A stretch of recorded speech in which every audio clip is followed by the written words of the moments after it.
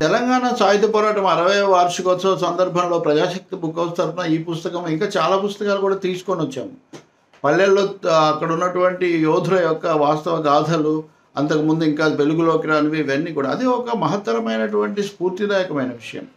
కేసీఆర్ ప్రభుత్వం మొదటి ప్రభుత్వం ఏర్పడినప్పుడు ఎడిటర్ సమావేశంలో నేను ఆయన దృష్టికి కూడా ఈ విషయం తీసుకొచ్చా. దీన్ని మనము ప్రజలకు గుర్తు చేయాలి. ఇవన్నీ అన్నప్పుడు గ్లోరిఫై చేయాలని అన్నారు. కానీ ఆ తర్వాత ఆయన కొన్ని కారణాల వల్ల ముఖ్యంగా అది ఒక మతం వాళ్ళకు ముస్లింలకు కొంచెం బాధ కలిగిస్తుందేమో అనే ఉద్దేశంతో ఆయన దాన్ని తర్వాత జరపడం లేదు ఎందుకైతేనే వాళ్ళు ఇలా అనుకుంటున్నారని ఆయన శాసనసభలో కూడా చెప్పారు.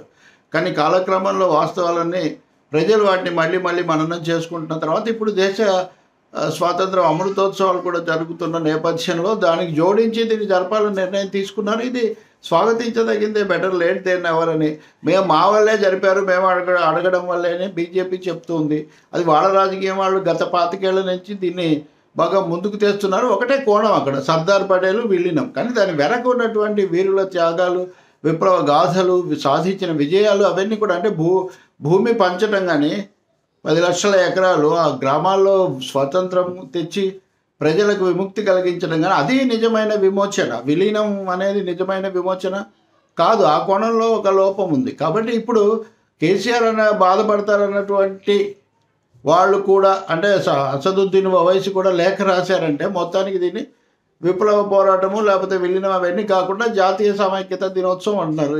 ఏదన్నప్పటికీ దాన్ని తలుచుకుంటే అంటే ఆ స్పిరిట్ ఏదైతే ఉందో ఆ స్ఫూర్తిని యథాతథంగా చెప్పుకోగలిగితే అప్పుడు ఈ ఉత్సవాలు సార్థకమవుతాయి.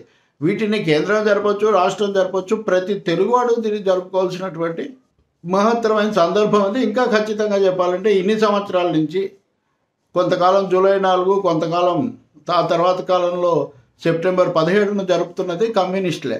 కాబట్టి నిజంగా ఇది చెప్పాలంటే రాజకీయంగా కమ్యూనిస్టుల విజయం.